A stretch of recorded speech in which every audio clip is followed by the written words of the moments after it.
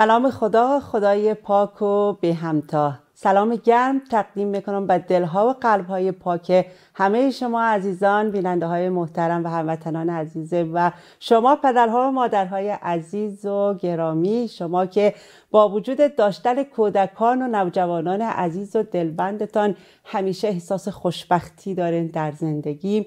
و تلاش می‌کنین که با تمام وجود به کودکان و نوجوانان و فرزندان عزیزتان که همچون گلهای باغ زندگی هستن رسیدگی داشته باشین. پس شما باغبانهای گلهای باغ زندگی هستین. به شما مانده نباشید میگم و توجه شما را جلب می‌کنیم. به برنامه روشنا شما بیننده برنامه روشنا از شبکه جهانی هادی بخش فارسی دری هستین و بسیار علاقه من هستیم که امروز هم با ما همگام و همراه باشین و تا آخرین لحظات ما را همراهی کنین. همراه شما عزیزان هستیم در یک روز سهشنبه دیگه و موضوع اختلالات رفتاری و روانی کودکان و نوجوانان. با اتفاق کارشناس محترم برنامه که ماستری روانشناسی دارن کارشناس برنامه ما خانم حسینی. سلام خانم حسینی و خوش آمدین به برنامه روشنا. بسم الله الرحمن الرحیم. به نام حضرت دوست که هر چه داریم از اوست. من هم خدمت شما سلام و عرض ادب دارم. همچنین خدمت بینندگان والدین که شما تعبیر بسیار زیبا به عنوان باغبان کردین. بله. انشاءالله که گلستان زندگیشان همواره پر از گلهای رنگین شادا و پر انرژی باشه که عطر خوششان من میگم جهان را اطراگین بکنه انشاءالله. بله بسیار عالی. بله ما اگر توجه داشته باشیم تصور کنین یک گلدان را که شما نو قلمه می‌زنین و در محیط زندگی او را می‌خواین که حفظش کنین. خب چقدر به او توجه دارین؟ کوشش می‌کنین که از نور زیاد نور کم آب زیاد و کم از او توجه داشته باشین و بیشتر به او مراقبت می‌کنین و نگهداری های بسیار خاص و ویژه می داشته باشین. کودکان و نوجوانان در محیط گرم خانه و خانواده هم همه قسم هستند. اگر ما به اوها رسیدگی داشته باشیم از هر لحاظ و از هر نگاه می‌تونیم یک کودکان و نوجوانان بسیار شادمان و بسیار سالم را تقدیم خانه و خانواده و جامعه داشته باشیم. همراه ما باشین و ما هم با شما عزیزان هستیم. اختلالات روحی و رفتاری کودکان و نوجوانان مورد بحث هست در روزهای سهشنبه و امروز خاص می‌خوایم در رابطه با فوبیای اجتماعی صحبت کنیم با شما عزیزان. شما عزیزانی که همیشه بیننده برنامه هستین مد نظرتان هست که ما هفته پیش هم در رابطه با فوبیا صحبت کردیم. تعریف کردن خانم حسینی و بسیاری از موضوعات نسبت به فوبیایی که کودکان و نوجوانان داشتن صحبت کردن عوامل او را بررسی کردن. امروز هم می‌خوایم در رابطه با فوبیای اجتماعی صحبت کنیم. خانم حسینی فوبیای اجتماعی تعریفی از داشته باشین برای ما و ای که خب فوبیای اجتماعی چه فرقی داره با او؟ فوبیایی که هفته پیش ما صحبت کردیم با ازنان بیننده. علائم و نشانه های او را صحبت کنیم عوامل اونها را بیایم بررسی کنیم عوارضش را بگوییم و در نهایت هم راهکارهایی برای خانواده های عزیز ما. بله فوبیای اجتماعی یا به اختلال استرابی و اختلال اجتماعی هم گفته میشه و جز چهارمین اختلال شایع خصوصا در بین کودکان و نوجوانان هست. چرا که از نامش هم برمیاد فوبیای اجتماعی یا اختلال استراب اجتماعی ترس از جمع ترس از اجتماع ترسی که گفتیم بسیار غیر منطقی است بله. غیر عقلانی است و بسیار شدیده که با علائم و نشانه هایی بر فرد آرز میشه که تشخیص داده میشه فرد یا کودک و نوجوان ما دچار اختلال یا فوبیای اجتماعی, اجتماعی هست. یعنی کسی که فوبیای اجتماعی دارد دیگه او فوبیای ارتفاع و نمیفهم ترس از یک محیط بسیار کلان و بزرگ و ترس از ارتفاع و این گپا دیگه نداره دیگه نداره فقط فقط خاص فوبیای اجتماعی فوبیای اجتماعی است. هر خب. چیزی که مربوط به جمع باشه مثل شرکت کردن در یک مهمانی مثل یک جایی که یک انبوه جمعیت هست و این کودک یا نوجوان قراره که در او جمع بپیونده بسیار استراب نگرانی ترس و بیقراری شدید بر او ظاهر میشه. درست؟ خب خانم حسینی گاهی وقتا شاید بسیاری از اولاد که در جمع نرفتن پدر و مادرها اونا را در داخل خانه ماندن و خودشان بسیار زیاد در گشت و تفریح بودن. خب این قسم بار آمدن که خوش ندارن در محیط اجتماع قرار بگیرن. یعنی او فوبیا را ندارن ولی علاقه من نیستن. خوش ندارن که در محیط جمع. یا که یاد ندارن که ما در اجتماع قرار بگیریم چی باید بکنیم. ترس از که ما اگه در اجتماع قرار بگیریم به خدای نکرده نتانیم آداب و رسوم اجتماع را بجا بیاریم. یعنی این فرق می‌کنه با اون فوبیا که بله. شما میگین؟ همین را می‌خواستیم عرض بکنم که بله. گاهی در بین مردم عامه یا والدین بسیار این شایع است که کودک ما خجالتی است. خب ما یک مقوله داریم که طفل ما خجالتی است کودک من خجالتی است و یکی فوبیای اجتماعی داره. بسیار متفاوت است. خجالتی بودن اکثر بچه ها از ای که وارد یک جمعی که ناآشناست برای اولین بار قراره که وارد او جمع مهمانی یا یک گروه دوستی شود. خب او خجالت او شرم یا او استراب عادیه که ما کل انسان ها خب استراب یا استرس جز زندگی روزمره ماست که به خاطری که اتفاق برای ما نیافته به خاطری که جلوگیری بشه از بسیار از آسیب ها یا یک کار رو بسیار نو و تازه می‌خوام شروع بکنیم او ترس و او استراب عادی را داریم. طبیعی داریم علت طبیعی را داریم. اما این بسیار شدید است. پس او خجالتی بودن طفل ما که برای اولین بار قرار است خب در من میگم در کودکستان طفل 6 ساله رو ثبت نام کرده. خب این طفل این مکان ندیده. بله. و همیشه در خانه بوده در کنار والدینش بوده. خب این ترس شاید وارد بشه که من خب از او جمع میترسم. من شاید دوستی پیدا نبکنم من کسی رو نمی‌شناسم و او بیقراری عادی رو داشته باشه که خب با تشویق والدین با یک سری امکاناتی که برایش فراهم میشه. دو سه روزی حتی من میگم تا یک هفته ممکنه این روان کنتر باشه اما وقتی وارد جمع میشه فضا رو می‌بینه خب او استرابه پایین میاد او خجالت رفت میشه که یک امر طبیعی است. اما فوبیای اجتماعی طفل ما واقعا میترسه. حالا علائم و نشانه هایش رو که بگیم می‌فهمیم. بله. خب گفتیم اکثر علائم و نشانه ها تقریبا شبیه هم به خاطر همیه که برای تشخیص اختلالات حتما باید یک کارشناس باشه که تشخیص بده. به خاطر همین این همبودی همیشه در همه تعریف ها هست. یکی از این نشانه هایی که خصوصا فوبیای اجتماعی در اطفال و نوجوانان داره. ترس از جمع بودن مثل سر اگر معلم یک درس رو پرسان بکنه یک پرسش پاسخ قرار صورت بگیره این طفل او استراب شدید بر او وارد میشه. بله. بازم بدنش داغ میشه دچار تعریق فراون میشه تپش قلب برش ایجاد میشه. حالت دل بیچه داره و گاهی باز هم دچار سردرد نگرانی و پریشانی میشه و گاهی هم باز هم تمام عضلاتش ممکنه همون لحظه دچار لرزش و تپش شود. درسته. حتی ما اطفال رو داشتیم که ممکن بود در سر کلاس حالت قش برش دست بده به خاطر و استراب زوف بکنه پس ای ترس از ای داره که ما درسی را جواب بدم. ترس از ای داره که من برای پای تابلو برم مطلبی را بخوانم یا مطلبی را بله. نوشته بکنم. پس ای برای مکتب ممکنه اتفاق بیفته. ترس از مهمانی رفتن.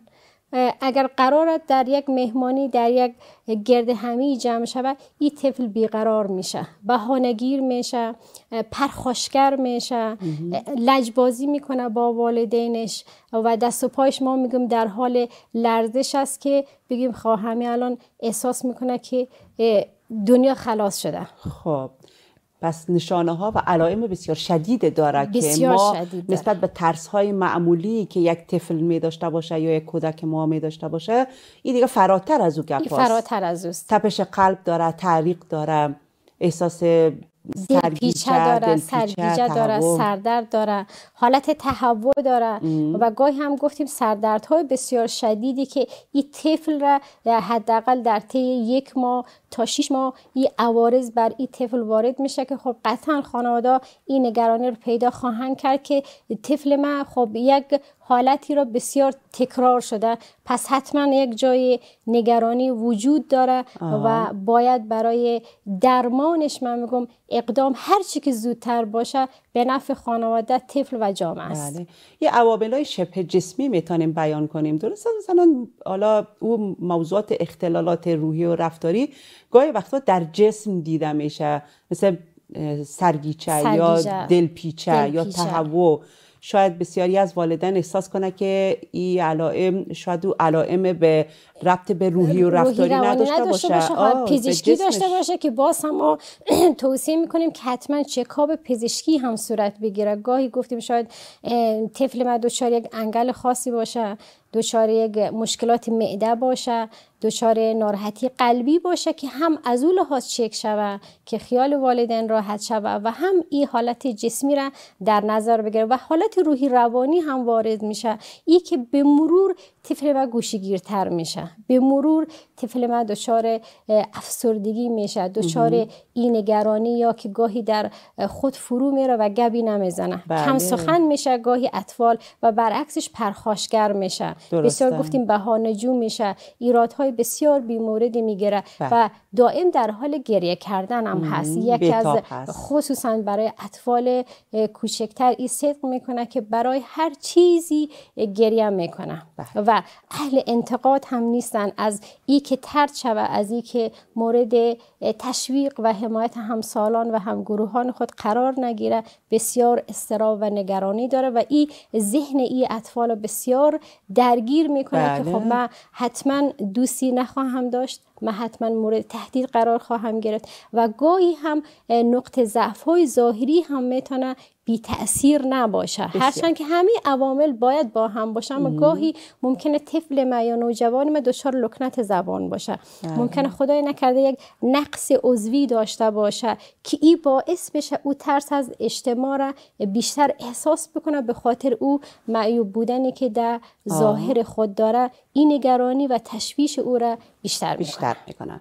بسیار خوب میان برنامه داریم. حدیثی از پیامبر بزرگ اسلام نسبت به کودکان عزیز. این حدیث زیبا که نسبت به کودکان دلبند شما بیان کردن پیامبر بزرگ اسلام را یک جایی مشنویم تقدیم شما عزیزم.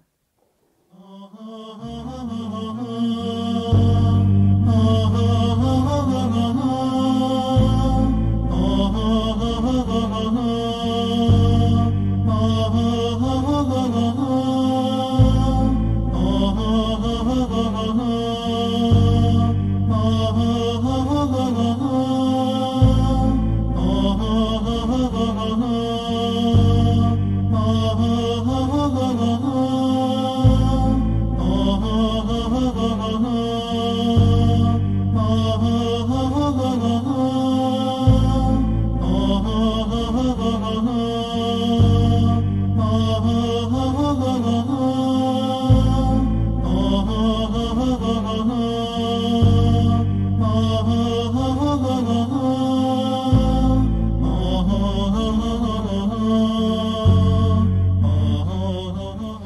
سپاسگزار هستیم از حضور گرم همه شما خانواده های عزیز و پدرها و مادرهای مهربانی که همیشه تلاش دارن برای کودکان و نوجوانان و فرزندان عزیزشان و با برنامه روشنا همراه هستین. سوال پیشنهاد انتقاد هر صحبتی که دارین ما پذیرا هستیم. می‌تونین همکنون با ما در ارتباط باشین. برنامه روشنا به صورت لایو و زنده تقدیم شما عزیزان میشه. موضوع برنامه ما فوبیا اجتماعی هست در نوجوانان و در کودکان و فوبیا اجتماعی را تعریف کردیم برای شما عزیزان.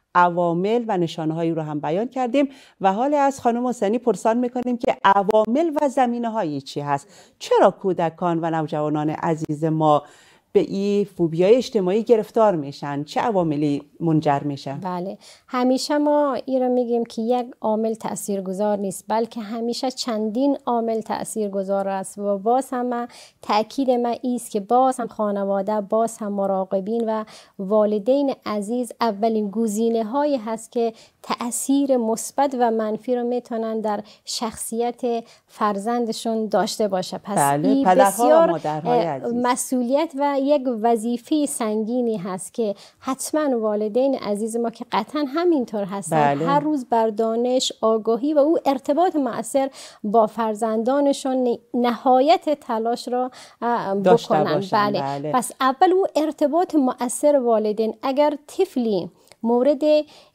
احترام مورد عزت و صمیمیت والدینشان قرار بگیره قطعا او نوجوان او طفل ما او امنیت خاطر روانی را داره من همیشه میگم اگر والدین تلاش دارن که امکانات رفاهی خوراک پوشاک و مسکن عالی را برای بله. فرزندانشان حالا مثل این بیشتر. راهکار هست بیم عوامل بگوییم چرا ایجاد میشه خب. برای کودکان و نوجوانان ما یعنی منظورتان ایست که والدین ما روابط صمیمانه نداره با کودکان و. نوجوانان. بله. خب روابط صمیمانه نداره و ای که عزت نفس اطفالشون رو در نظر بگیرن که عزیز خب. دانسته شوه و مورد حمایت روانی و امنیت قرار بگیره بله، بله. گاهی هم صفات ارسی می‌تونه تاثیر بگذاره یا عوامل ژنتیک همیشه قطعا نیست ولی. او تاثیرگذاری خودش را داره که اگر والدین یا یکی از نزدیکانشون دچار یکی از اختلالات باشه یا همین اختلال یا دقیقاً. فوبیای بله، اجتماعی بله. رو داشته باشه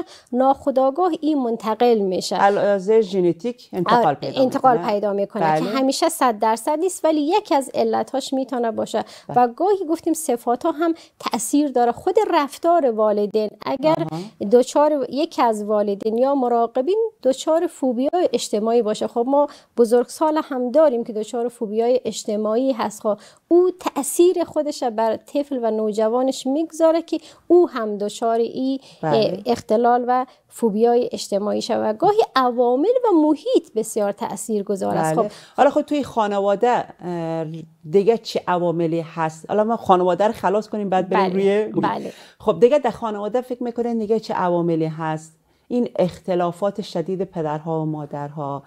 روابطی که بین خود والدین هست ما همیشه روابط بین والدین و کودک ها رو بیان می‌کنیم ولی روابط بین خود والدین, را والدین را- کمتر میگیم بله. که اگر این اختلافات خدای نکرده دعواها جنگها و بگو مگوهایی که بین والدین هست اینها هم اگه در محیط خانه و خانواده باشه که دیگه بسیار بله. همون خانواده که داریم میگیم که او. طفل امنیت روانی و آرامش در او خانواده بله. داشته باشه یکی از علتهاش همین صمیمیت خود والدین یا درست. ارتباط والدین هست اگر اختلافی هست اگر گفتگویی هست اگر جلو فرزندان صورت بگیره هم آرامش و امنیت او خانه را به هم می‌زنه هم دچار استراب و اختلال ها و افسردگی ها میشه که نتیجهش میشه که او آسیب بر فرزندان و فضای خانواده بله. ایجاد شده پس دوری از اختلافات بگو مگو و جنجال ها داره. قطعا در زندگی هست اما ما میگم دور از چشم اطفال در یک فضای بسیار جدا صورت بگیره که حداقل من میگم والدین باید این نقش داشته باشه که نقش. بازی بکنه و خود محیط. محیط مثل مکتب مثل بله. یک کورسی که بچه ها شرکت می‌کنن می‌تونه کودکستان باشه. هر جایی که او ترس را بر طفل وارد می‌کنه. این. هم می‌تونه تاثیرگذار باشه یا محیط و فضایی که بین خانه و مکتب او فضایی که طفل قراره که رفت و آمد داشته باشه خدای نکرده در بین را خب یک جمعیت شلوغ رو ببینه که جنجال شده. این هم می‌تونه بر این استرابش هم بله. اضافه بکنه و او را تشدید بکنه که خب من که از این محیط میترسیدم قطعا نتیجهش همین هست. خانم حسینی بسیاری از کودکان و نوجوانان در محیط گرم خانواده متاسفانه دچار تحقیر میشن توهین میشن حتی لطوکوب میشن و این مسئله خودش هم می‌تونه باعث فوبیای اجتماعی را ایجاد کنه یا بله. نه نمی‌تونه مثلا همین تحقیرهایی که بیش از حد در محیط خانواده ها ایجاد می‌کنن یا سختگیری های بیش از حد اعتیاد والدین اینها چطور می‌تونن موثر باشن؟ تمام این عوامل دست به دست هم می‌تونه با او تاثیر خودشه که می‌تونه مخرب باشه بر او. فضای خانواده و فرزندان بله. حتما داره حتما. بسیاری از کودکان و نوجوانانی که از مکتب ها گریز هستند حالا که محیط خانواده محیط اجتماعی را که داریم بیان می‌کنیم خانم زینی اینها وقتی که باشون صحبت کنیم می‌بینیم که بسیار بسیار گریزان هستن از مکتب. چرا؟ بخاطر از که میگن در داخل محیط مکتب امنیت ندارن. بسیاری از اطفال و کودکان دیگه که در داخل مکتب هستن باعث میشن که اینا رو لتوکوب کنن زیر پای بگیرن بزنن. حالا شاید بسیاری از کودکان و نوجوانان قسم تربیه شده باشن که نتونن خشونت کنن نه؟ بله. خوش دارن در محیط مکتب محیط درس باشن نه محیط که لتوکوب ولی خب آزار دیدن و این فوبیا اجتماعی را از همونجا در ذهن خودشان پرورش دادن و وقتی که بزرگتر شدن زیادتر و بدتر شده رفتن. بدتر میشه تشدید می‌کنن. به خاطر همیست که او جز راهکارها عرض می‌کنیم که او مهارت ها بسیار لازم است که طفل و خانواده ببینن. بله. چرا که ناخداگاه چی بخوایم چه نخواهیم در یک محیط کلانتر از خانواده هر اتفاق ممکنه بیفته. خب باز هم عواملی هست خانم حسینی؟ ژنتیک تاثیرش گفتیم بله. خود عوامل خانواده و محیط و گاهی خود شخصیت طفل هم می‌تونه تاثیرگذار باشه. طفلی که حمایت نشده مورد باز او تاثیرات که گذاشته بله. خود طفل. در محیط قرار می‌گیره و نمی‌تونه او محیط هضم بکنه. گاهی ما اطفالی داریم که این فوبیای اجتماعی اگر مبتلاست خودشون با او مهارت های شخصیتی که دارن می‌تونن مقابله بکنن با یک سری راهکارها. اما بله. اطفالی داریم که بسیار ضعیف هستن و در این زمینه به حمایت و یاری همه جانبه نیاز دارن. خب حالا آثار و پیامدهای او را بیان کنیم. چه بله. عوارض داره چه آثار و پیامدهایی داره.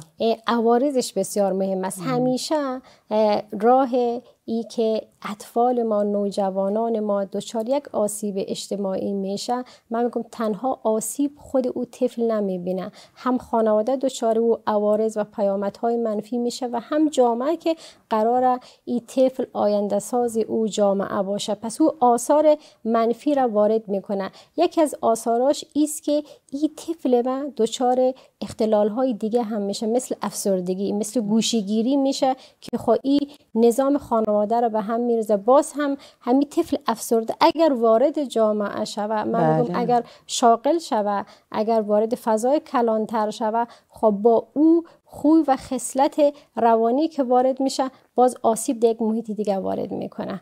درگیری پیدا می‌کنه با همکارانش با هم سالانش پیدا می‌کنه و این خودش هم آسیب میشه. درست بله. و او بله. خطر هر روز او جامعه هم احساس می‌کنه دقیقا و اگر که عزت نفس و اعتماد به نفس کودکان و نوجوانان در محیط خانواده و جامعه وقتی پایین باشه بسیار صدمات را می‌بینن کودکان ما نوجوانان ما که فکر می‌کنه وقتی کودکان ما صدمه ببینن مسلم است که پدرها و مادرها همون صدمات هم حتما می‌بینن. و یک از پیامدهای بسیار مهمش همین کمبود عزت نفس و کمبود اعتماد به نفس است. این میشه که او طفل ما یا او فرد ما بسیار پرتوقع میشه. بسیار انتظارهای کلان و بزرگ از جامعه و از خانواده داره که شاید قادر نباشه تأمین شود. ای به خاطر ایست که نگران هست همیشه که من مورد انتقاد قرار می‌گیرم. پس توقع خود هم بیشتر می‌بره و گاهی کارها رو هم نمی‌تونه به نحو احسن انجام بده. مثل اطفال ما که درگیر درس و تحصیل یک از آسیب ها و پیامت های بسیار مهمش افت تحصیلی عزیزان هست که خب بله. اختلال دار در تحصیل در درس و تکالیف خانگیشان ایجاد میشه که خب این باز هم یک مشکلی اضافه می‌کنه برای والدین که باعث نگرانیشون میشه. باعث میشه که خب اون نوجوان اگر باشه حتی گاهی دچار ترک تحصیل میشه بله، و یک از بله. مکتب گریزی بله و نمیرن و اگر این درمان نشوه خب او استرا گاهی هم خانواده شاید به خود بنا به های اقتصادی و ای که میگه خب اگر تا سنف 5 6 خواندی خب دیگه خودت که نمیری استرابم ترسم که داری دیگه نرو سر کار برو بله. و این باعث میشه که باز جذب گروه های منفی اجتماعی شود که باز هم در این زمینه نوجوانان ما ممکنه به سمت گروه های بزهکاری مثل خدای نکرده اعتیاد روی بیارن و سمت خلافکاری هایی که در جامعه رواج داره جذب این گروه ها شود و این آسیب و خطر اگر ادامه پیدا کنه بسیار تهدید کننده و ویران کننده است. خب میان برنامه باز هم آماده نش داریم تقدیم عزیزان می‌کنیم. باز هم حدیثی از پیامبر بزرگ هست میشنویم یک جایی و بعد از او باز هم با شما عزیزان. با برنامه روشنا با موضوع فوبیای اجتماعی با شما خواهیم بود.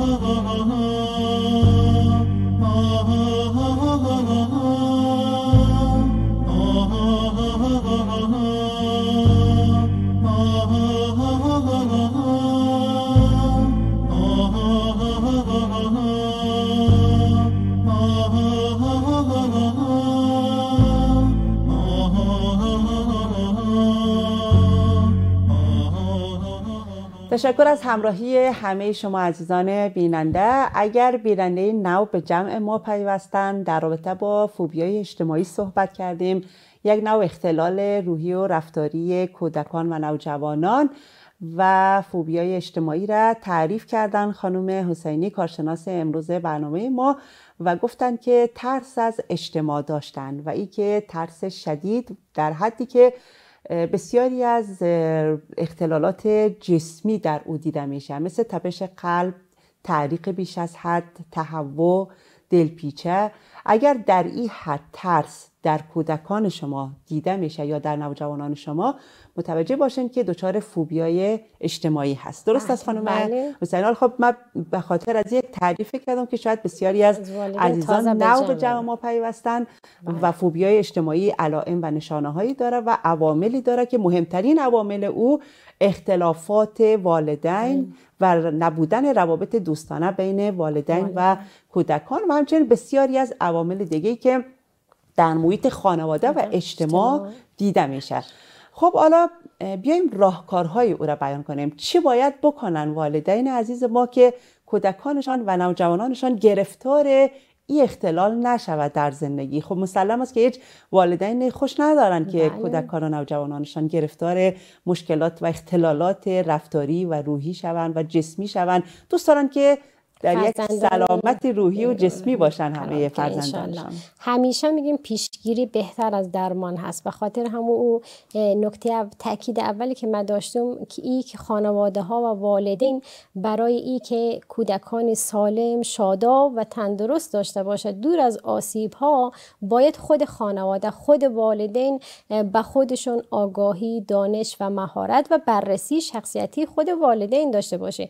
ما اگر والدین و خانواده سالم موفق داشته باشیم. در یک فضای به قول شما صمیمی دور از اختلافات که هست اما در جلو بچه های انجام نگیره باشه خب قطعا می‌تونن تاثیر مثبت خودشون رو روی فرزندان بگذارن. و ای که چیزی که من با والدین در تماس هستم گاهی اختلاف فرزند پروری بسیار شایع است مادر یک روش فرزند پروری رو میپسنده بله. و صلاح میدانه که این روش با بچه ها کار بکنه و پدر او روش قبول نداره و این اختلاف باعث میشه که کودک در تعارض قرار بگیره گاهی سختگیری بیش از حد والدین گاهی سهلگیری بیش از حد بله، والدین بله. باعث حالا شما خانم رو مادر میگیم خب ما خانواده ما خانواده گسترده است نام خدا بله. دیدین دیگه که در یک خانواده های خب تنها پدر و مادر نیست بله. مادر کلان یک چیز میگه پدر کلان یک چیز میگه کاکا یک چیز میگه بله. هم هست این تضاد در فرزند پروری بله. هست که این اتفاق میفته که انشالله یک هماهنگی اگر باشه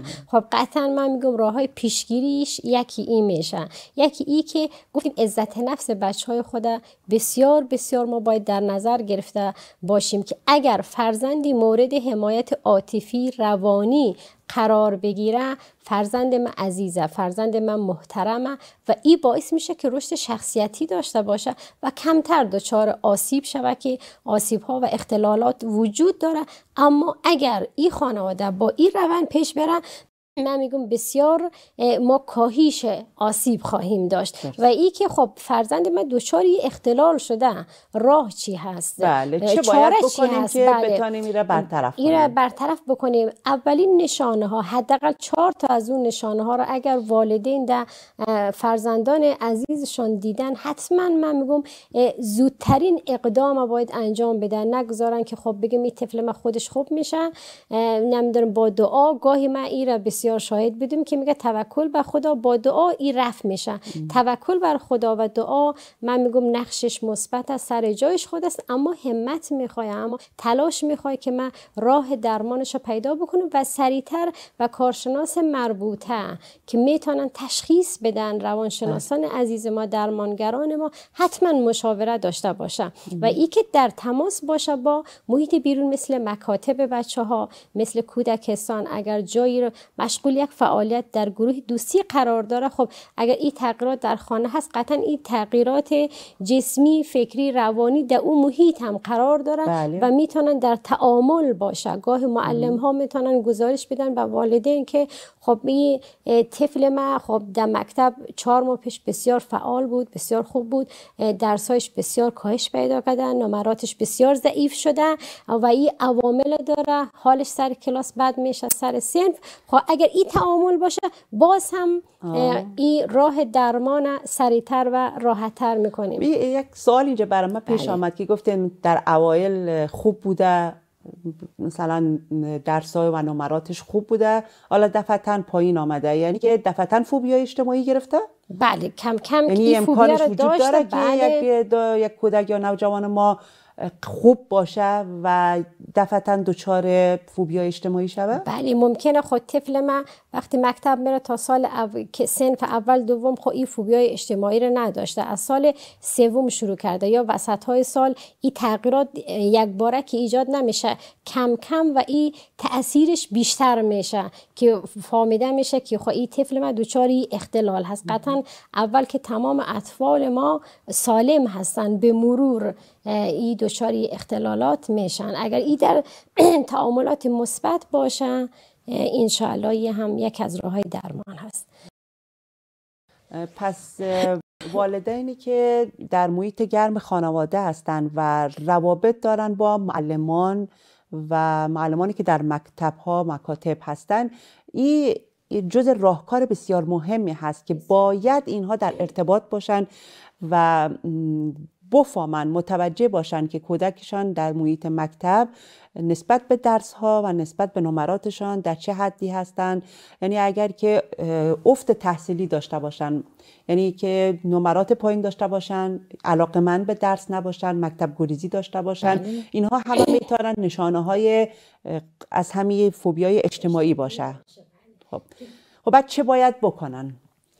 یعنی والدینه که در محیط خانه هستن و والدینی که حالا علاوه خانه دوم گفته بله، دومش مکتب میشه، بله. معلمان ما بله. اینها با هم چه باید بکنن چه راهکاری میتن برایشان بله. بیان می‌کنن که برای کودکان نوجوانان بله. وقت- باید بکنن که اینها نجات پیدا کنن از بله یک از راهکارهایی که وقتی والدین و معلمان در تماس باشه او تبادل اطلاعات قرار می‌گیره قطعا معلمان عزیز ما چون با یک محیط اجتماعی بزرگتر قرار دارن هم از شخصیتی با اطفال آشنایی داره هم او تجربیات مثبتی که داره می‌تونه برای والدین با همدیگه در تعامل باشه که خب اگر طفل من ترس از اجتماع داره ترس از ای داره که یک کنفرانس من میگم یک درس جواب داده نتانه خب با تشویق والدین و همکاری معلم این طفل من میگم برای اولین بار بسیار آرام با ای که گاهی معلمان ما اگر سخت گیری بکنن استراب بیشتر میشه. با تشویق که تو اگر من میگم یک درس کامل اگر یک مضمونی درس ریاضی داره من میگم فقط یک جمع و تفریق بسیار کوتاه و آسانه بر او طفل بدن. بگم پای تابلو بیا با او استرابه که هست کم کم مواجه شوه. خب قرار بگیره و با تشویق معلم و یک من میگم از والدینم درخواست بکنن یک جایزه به عنوان هدیه بیارن که خب طفل امروز با ای که ترس و استراب داشته تانسته پای تابلو بیاره و این درس جواب بده و نوشته بکنه و مورد تشویق دوستان قرار گرفته و همچنین از طرف معلم نمره بسیار خوبی دریافت کرده و از طرف خانواده جایزه دریافت کرده که ما می‌خوایم از این طریق و استراب اه، کاهش پیدا بکنیم. کم کم وارد بشه که باز بتونه درس های بیشتری رو کنفرانس بده. باز والدین می‌تونن بازم در مهمانی گفتیم که گریزان هست و ترس از این داره که من مورد انتقاد و ترد شدن قرار بگیرم. باز هم من میگم با تشویق والدین با ای که با یک برنامه‌ریزی یک فضای مهمانی بله. جمعی که حداقل از خود دوستان همسالان باشه. میگن یعنی منظورتون نیست که به او اعتماد به نفس بده برش بگوید جاییه که تو می‌تونی تو هم می‌تونی در جمع قرار بگیری تو هم می‌تونی در داخل سنف گپ بزنی صحبت کنی یا کنفرانس بتیه گپی که بله. شما گفتین یعنی که او را ما عزت نفسش بالا ببریم بالا ببریم توانمندی, توانمندی های بله. خودش ببینن توانمندی های خودش ببینن بله. گاهی گفتیم که اگر یک نقصی خدای نکرده داشته باشه اطفال ما مثل همین لکنت زبان خب میگه من اگر این رقم گپ بزنم مورد تمسخر قرار می‌گیرم همین رو در یک فضای صمیمی مثل سنف امسالان که دوست فرزند ماست با یک برنامه ریزی که مورد تشویق قرار بگیره که تو می‌تونی تو چقدر بهتر شدی بله. از این طریق می‌تونیم این استرابش کاهش بدیم و راه های درمان پیش ببریم و در کنار ای حتما با یک درمانگر صحبت شود. چرا که از طریق یک سری آزمون ها یک سری راهکارها و جلسات فردی که با نوجوان و طفل داره بله. و بازم راهکارها رو حتما برای خانواده ها ذکر می‌کنه که چی بکنیم که فوبیای اجتماعی فرزند ما کاهش پیدا بکنه و درمان شود. بله. بسیاری از خانواده ها بسیار علاقه من هستند که کودکانشان را همیشه تشویق کنند چه در محیط جمع که در یک خانواده است یا در اجتماع در هر جایی. و خدای نکرده بعضی از والدین هستند که کوشش می‌کنند که حالا چه فامیدگی یا روی فامیدگی چی از روی نافامی مثلا بیاین تحقیر کنن مثلا همیشه بگوین که تو نمی‌تونی تو هیچ وقت نتونستی موفق باشی یا همیشه در حدی بوده که او اعتماد به نفس او را پایین آوردن. چه خوب است که ما همیشه با تشویقاتی که می‌کنیم توانمندی ها را به کودکان ما آموزش بدیم بگیم که بیا ببین تو چقدر استعداد داری چقدر توانمندی داری و همه اینها را برش لست کنیم بگوییم. ای که برای از او بگوییم و فهرستوار بیان کنیم او خودش متوجه میشه که من چقدر توانمندی دارم ما متوجه نبودیم و ناخداگاه اعتماد به نفسش بالا میاره و این عزت نفس و اعتماد به نفس وقتی که بالا بگیره او فوبیای اجتماعی هم حتما حتما به میشه کم میشه. بله. همین که شما ذکر کردین همین میشه. نکات مهم مهارت های زندگی که حد والدین خودشون آگاه باشه و ای که به فرزندانشون این مهارت ها رو آموزش بده. مثل همین عزت نفس اعتماد به نفس بله. شناخت نقاط ضعف و توانایی ها و اگر نقطه ضعف دارن برای رفش حتما با همکاری والدین تلاش بکنن و او رو تبدیل به یک توانمندی بکنن و باز هم گفتیم تشویق که هیچ وقت والدین ما نباید از تشویق کردن حتی زبانی حتی تشویقی که به عنوان یک جایزه پرداخت شود به عنوان اینکه جای برده شود بله. دریق نکنن که فرزندان شاد و سالم داشته باشه تشکر و سپاسگزار از صحبت های کارشناس محترم برنامه و شما عزیزانی که تا این لحظه همراهی کردین و همراه ما بودین. پیروز و موفق باشین و خوشبختی را در وجود کودکانتان همیشه احساس کنین. خدا نگهدار. اللهم صل على محمد وآل محمد. اللهم صل على محمد وآل محمد. وعجل فرجهم